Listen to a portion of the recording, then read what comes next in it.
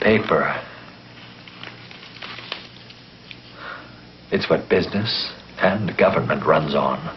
There always seems to be another form to fill out in duplicate. And that's when paper clips come in handy. But you can do more with a paper clip than stick paper together. If you know the secret of an astounding trick.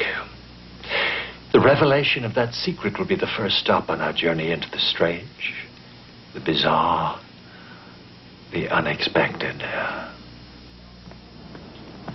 Enter the office of even the busiest executive at some moment when he's not around. And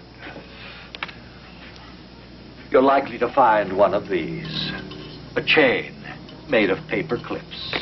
It serves no practical purpose, but almost everyone in every office winds up making them sooner or later.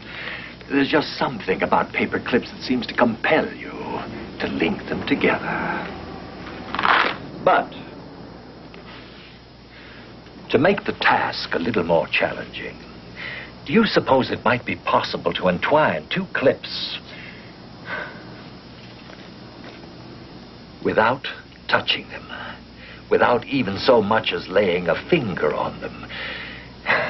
It seems impossible, entwining without touching. A true paradox, in fact. Insoluble, self-contradictory, a downright irrationality.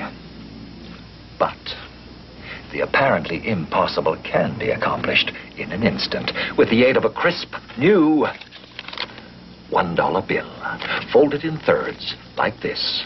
The first clip, inside fold, and outside fold, like this. The second clip, again, inside fold, and the other outside fold, like this. Now, to link two paper clips without touching them, watch closely.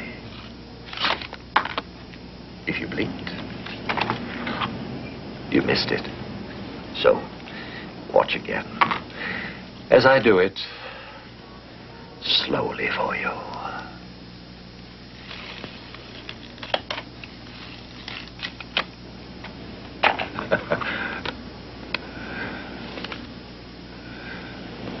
Believe it?